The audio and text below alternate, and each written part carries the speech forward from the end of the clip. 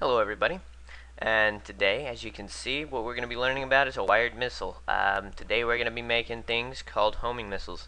Uh, what this is going to do is it's going to find a person's GPS coordinates or where they're at um, and it's going to go ahead and apply thrust in their direction meaning it's going to go straight at them.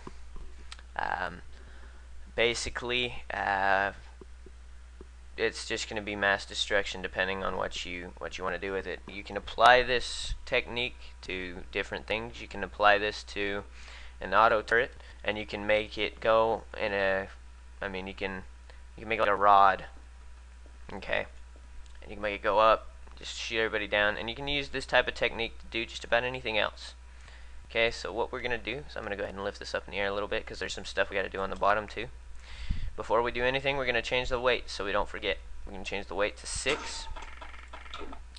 Um, okay, now that we've done that, we're going to go ahead and start putting some wired stuff on it. So, we're going to need the beacon sensor. Beacon sensor is a big thing that we need. Um, what you're going to want on that, if I don't know if you can see this or not, but you're going to need to output world position GPS coordinates, or coords. Um, that's all you really need on it. I put a few other ones on it just in case of things I like to put together with it.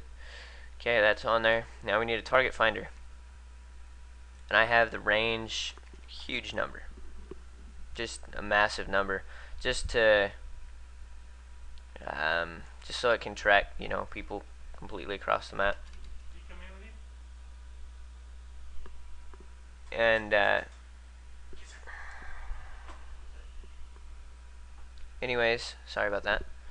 Um, you're to need to make that a massive number. That way it tracks people where stuff needs to go.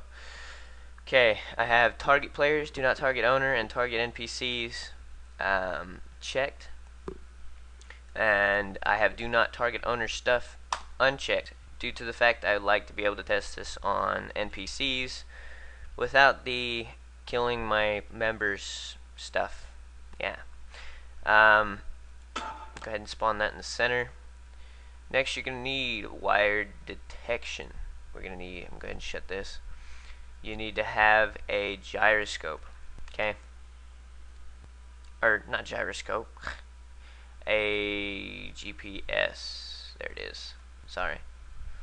Wow, that was pretty bad. Okay, um, go ahead and spawn that wherever you like. Really, it doesn't matter the placement of these as long as they're on there. Input and output, we need a numpad input. And I'm going to set that up right underneath the target finder. Okay, we're also going to need a vector thruster. And with the vector thruster, same thing as the target finder, you're going to want an extremely high number for your force multiplier and maximum. Your multiplier is how fast it gets to the, the highest speed it can go which in my case I can't even go up that high I think.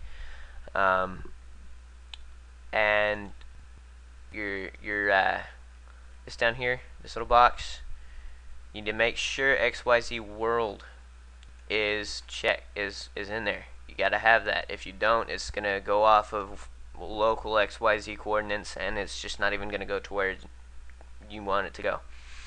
Um, so we're gonna go ahead and spawn that Make sure you double click because for some reason they're stupid and yeah, you have to double click. It's retarded. Okay, um, next we need to go to wire control. We're going to go to arithmetic. And we're going to go to subtract. Okay. Now, I like to have my chips a little bit small for neatness. You can make whatever you like as long as they're on here. As I said, it does not matter. Okay, and that should be that. Okay, so before we wire all that, so we don't forget, we're going to put a thruster on the bottom, extremely high number. Make sure it's a toggled thruster. Um, I'm going to put a couple of them on here for the fun of it, just so I can have some really cool looking effects. Uh, okay. And to, that's not what I wanted to do. There. And what that's going to do, uh, I'm going to put another one here just in case. What that's going to do is uh, create a cool looking effect. However, that is very loud. Um, wow. Okay. Anyways, um, we're going to go ahead and start wiring some stuff together. So we're going to go to Wire Tools. I like to use Wire Advanced because it's a little bit easier to use in my opinion. We're going to go ahead and wire. Get into slow motion here. There we go. Okay, now we need to wire a target of the beacon sensor to the target finder. Output 1. want to wire the multiply of the vector thruster to the numpad input.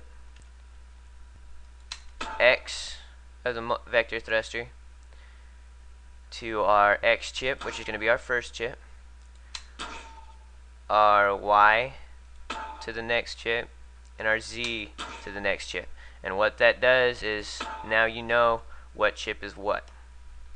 Um, basically, this is going to your first chip's your X, Y, and Z. That's your coordinates of the player you're tracking.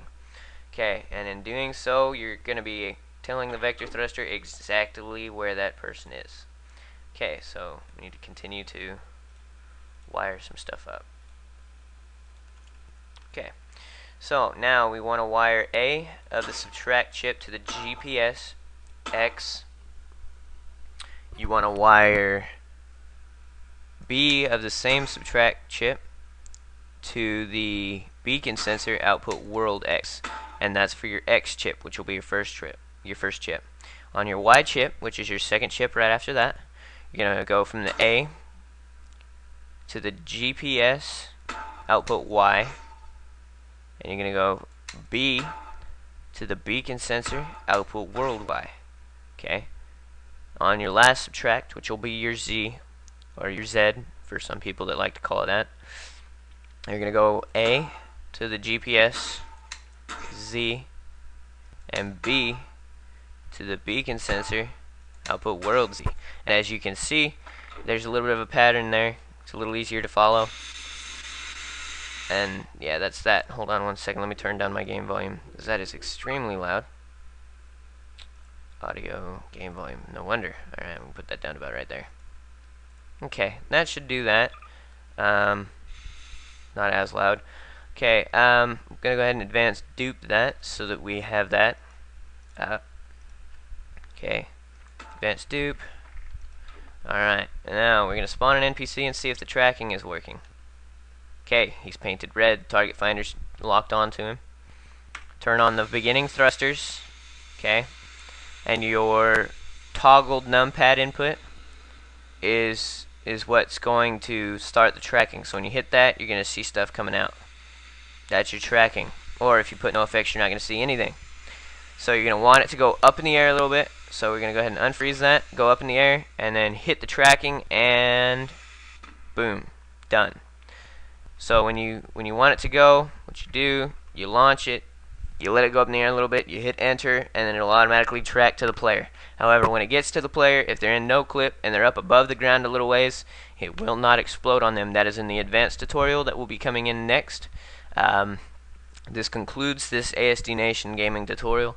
Um, hope to see you guys soon in the server. Uh,